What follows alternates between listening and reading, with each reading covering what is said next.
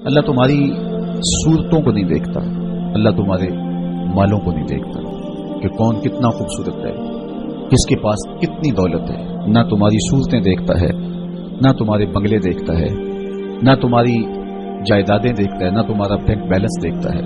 उसे तुम्हारी सूरतों से गरज नहीं है, उसे तुम्हारे अम्बाल से सरोकार नहीं है। वला की यन इला कुलूब कुम व आमालिकुम, वो तुम्हारे दिल देखता है और तुम्हारे अमल देखता है।